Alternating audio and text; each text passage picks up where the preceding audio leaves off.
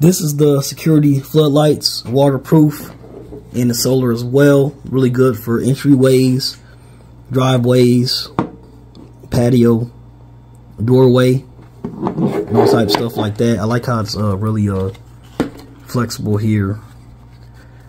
You hit a lot of different angles.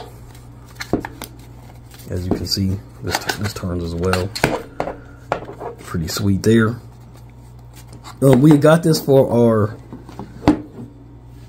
back fence area.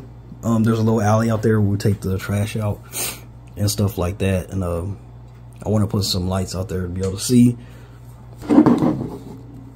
actually, most likely to get another one because we actually need one for our driveway as well. Just want to test it out. I already took the mount off um, and put in with the three screws. Comes with some anchors and just gonna slide it on. It's pretty easy to install as well, so really nice here. really lightweight too, and it's uh, pretty sturdy. So yeah, I'm gonna take it outside so you can uh, see how bright it lights.